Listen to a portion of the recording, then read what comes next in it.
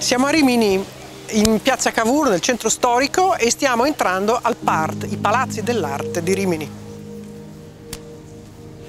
Benvenuti, eccoci. Come vi dicevo siamo al PART, i Palazzi dell'Arte di Rimini, eh, che ospitano la collezione della Fondazione di San Patrignano. È una collezione di opere tutte donate ehm, a favore della comunità e in caso un domani di necessità straordinarie potrebbero essere, possono essere vendute.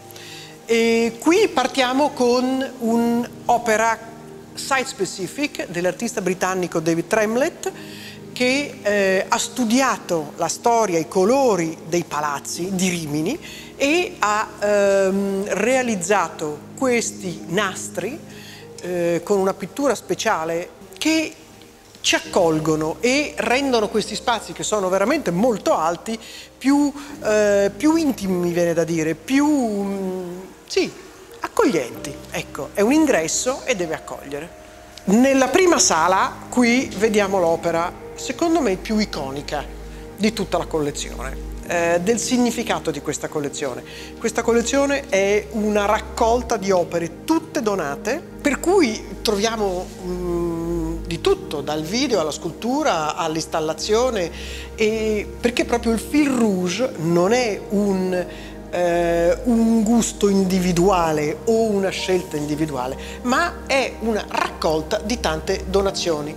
E eh, di conseguenza diamo, abbiamo enfatizzato molto di più il significato delle opere più che il gusto che le potesse unire. E qui siamo di fronte a un'opera assolutamente conosciuta tantissimo visivamente, diciamo che richiama tutti, penso che l'abbiamo vista, di Vanessa Beecroft, che è un'artista italiana che vive a Los Angeles, che eh, ha lavorato sempre molto sulle performance, per cui sul coinvolgimento del pubblico nell'opera d'arte. Entriamo nella sala dell'Arengo, più di 500 metri quadri di sala straordinaria che eh, lasciato è stata lasciata assolutamente integra, perfetta, non è stata modificata, ci siamo semplicemente inseriti eh, con rispetto, mi viene da dire.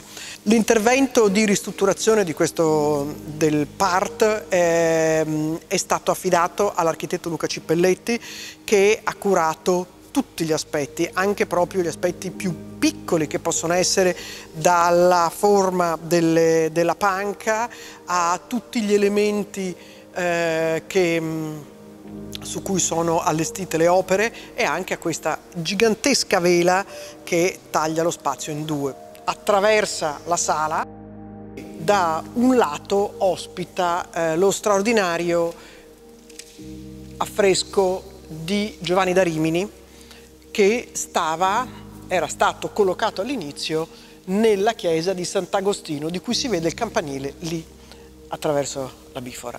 Qui abbiamo il giudizio universale e um, appositamente è stato, um, diciamo, è stato situato con delle opere molto rispettose intorno, dando la possibilità di enfatizzare proprio la parte più spirituale di e il significato spirituale di quest'opera.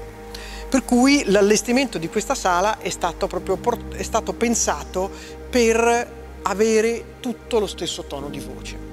E tornando all'ingresso eh, dalla porta proprio, è stato pensato come un cannocchiale con l'opera in fondo che è difficile da vedere perché una parte integrante dell'opera è proprio la luce che si riflette ed è l'autoritratto di Michelangelo Pistoletto. È un'opera che ci ha donato il maestro, è un'opera degli anni Ottanta, un'opera estremamente significativa. Abbiamo degli artisti giovani qui, abbiamo Diego Perrone, abbiamo Velasco e abbiamo uh, un ricamo di Vezzoli.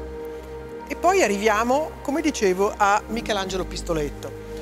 Michelangelo Pestoletto in quest'opera in pratica eh, è un precursore dei selfie perché è duplice il livello di lettura. Il, la superficie specchiante dove ciascuno di noi si riflette e entra a far parte dell'opera, ma poi anche questo è un autoritratto, per cui il selfie è un autoritratto. Per cui io adesso che sono riflessa qui faccio parte dell'opera.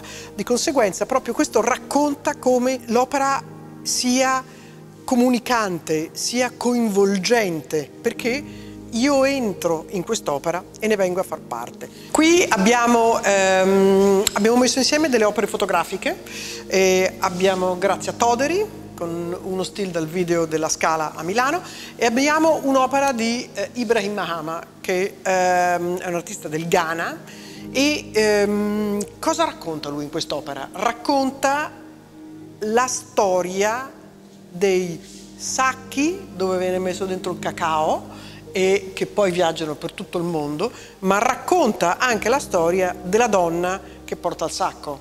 Le donne lasciano i loro villaggi e si scrivono o si fanno scrivere sul braccio il nome del villaggio e il nome della famiglia, perché se dovessero perdere la vita, almeno qualcuno può avvisare il villaggio e la famiglia.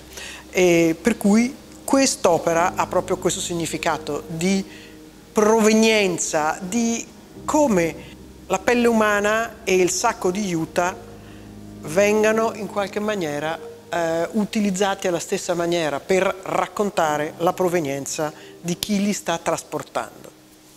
Vi aspettiamo al PART del centro storico di Rimini in piazza Cavour.